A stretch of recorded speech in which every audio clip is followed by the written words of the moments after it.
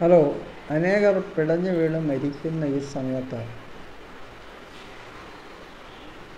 അത്യുന്നതനായ ദൈവത്തിന്റെ മറവിൽ ജീവിക്കുന്ന ദൈവത്തിന്റെ മറവിൽ നമുക്ക് സംരക്ഷണമുണ്ട് എന്നുള്ള കാര്യം നിങ്ങളോട് പറയാൻ ഞാൻ ആഗ്രഹിക്കുന്നു.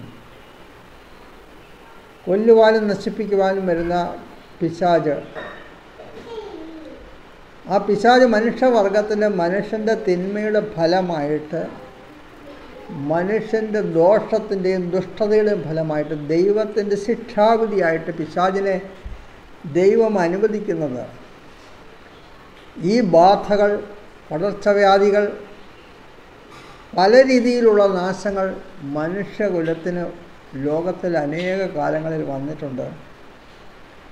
ഇസ്രായേലിൽ ഇസ്രായേൽ ജനം അനേകായിരം വർഷങ്ങൾക്ക് മുമ്പ് ഈജിപ്തിൽ അടിമകളായിരുന്നു ജീവിച്ചപ്പോൾ.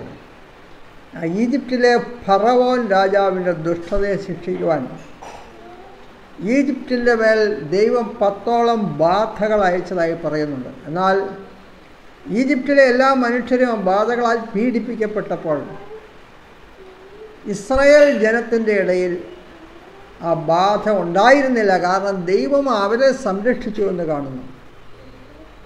അതിലേറ്റവും അവസാനമായും ഏറ്റവും ഗൗരവമായ ബാധ എന്ന് പറയുന്നത് ഓരോ വീട്ടിലെയും ഈജിപ്തിലെ ഓരോ വീട്ടിലെയും ആദ്യ ജാതന്മാർ ആദ്യ മൂത്ത പുത്രന്മാർ കൊല്ലപ്പെടുത്തു ഒറ്റ രാത്രിയിൽ കൊല്ലപ്പെട്ടു. ആ സമയത്ത് ഇസ്രയേൽ ജനത്തോട് ദൈവത്തിന്റെ വചനം അനുസരിക്കുന്ന ഇസ്രയേൽ ജനത്തോട് ദൈവം പറഞ്ഞു നിങ്ങളൊരാട്ടിൻകുട്ടിയെ കൊന്ന് അതിന്റെ രക്തം നിങ്ങളുടെ വീടിന്റെ കട്ടളപ്പൊടിയിൽ പുരട്ടിയാൽ ആ രാത്രിയിൽ ദൈവത്തിന്റെ സംഹാരത്തിനായുള്ള ദൂതൻ കടന്നു പോകുമ്പോൾ ഈ ആട്ടിൻകുട്ടിയുടെ കുഞ്ഞാടിന്റെ രക്തം കാണുന്ന വീടിനെ ഒഴിഞ്ഞു പോകും. ശിക്ഷയിൽ നിന്നുള്ള ഇളവ് കിട്ടും. അങ്ങനെ ഇസ്രായേലിലെ ജനത്തിനെല്ലാം ആ കുഞ്ഞാടിന്റെ രക്തം പുരട്ടിയ ഭവനങ്ങളിൽ ബാധയിൽ നിന്ന് ഒഴിവ് കിട്ടി. എന്നാൽ ഈജിപ്തിലെ എല്ലാ വീടുകളിലും ഫറവോൻ രാജാവിന്റെ വീട്ടിലും ഉൾപ്പെടെ എല്ലായിടത്തും മരണം നടന്നു. ഇത് ഇന്ന് നാം കാണുന്ന നിസ്സാര കാര്യമല്ല. ഇതൊരു ബാധയാണ്.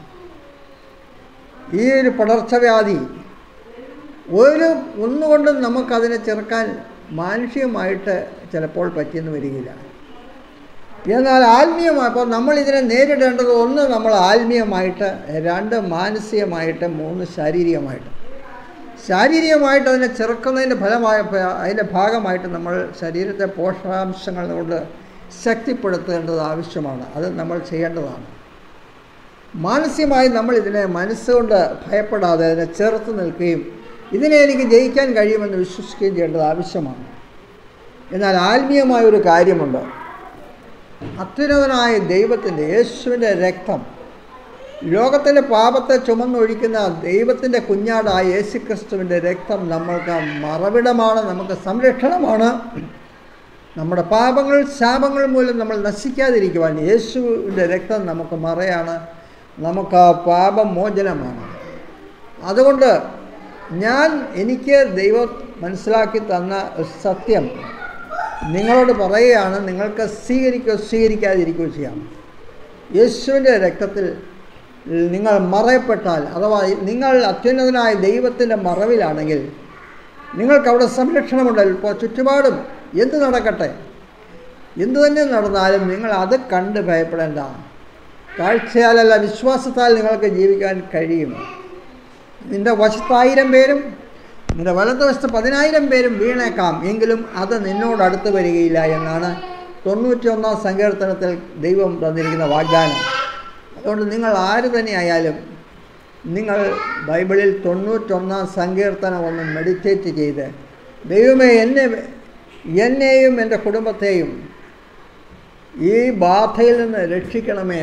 യേശുവിന്റെ യേശു ഞങ്ങളുടെ ശാപം ഏറ്റെടുത്ത് കുരിശിൽ മരിച്ചതിനാൽ അതിന്റെ ഫലമായിട്ട് ആ യേശുവിന്റെ രക്തം ഞങ്ങളെ തളിച്ച് ഞങ്ങളെ ശിക്ഷയിൽ ഒഴിവാക്കണമെന്ന് അപേക്ഷിച്ചാൽ യേശുവിന്റെ രക്തം സകല പാപവും പോക്കി നിങ്ങളെ ശുദ്ധീകരിക്കുകയും നിങ്ങളെ ബാധയിൽ നിന്ന് രക്ഷിക്കുകയും ചെയ്യും എന്നുള്ളത് ദൈവത്തിന്റെ വചന സത്യമാണ്.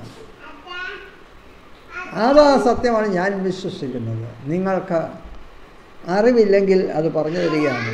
യേശുവെ എന്നെ ഈ ബാധയിൽ നിന്ന് എന്റെ കുടുംബത്തെ ഈ ബാധയിൽ നിന്ന് രക്ഷിക്കണമേ അങ്ങനെ രക്തത്താൽ ഞങ്ങളെ മറക്കണമേ എന്ന് അപേക്ഷിക്കുക പ്രാർത്ഥിക്കുക.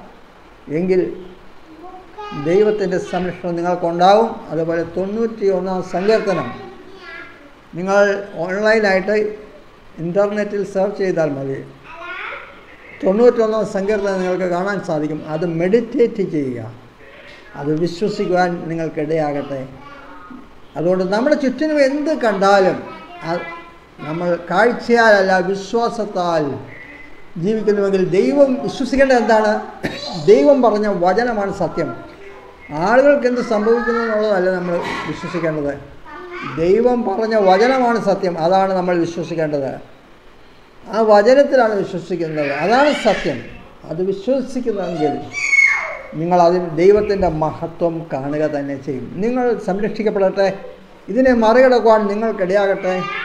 സത്യവിശ്വാസത്തിലൂടെ നിങ്ങൾക്ക് ഇതിനെ തരണം ചെയ്യുവാൻ ദൈവം സഹായിക്കട്ടെ. ദൈവം നിങ്ങളെ സംരക്ഷിക്കട്ടെ എന്ന് ഞാൻ പ്രാർത്ഥിക്കുന്നു. ആമേൻ.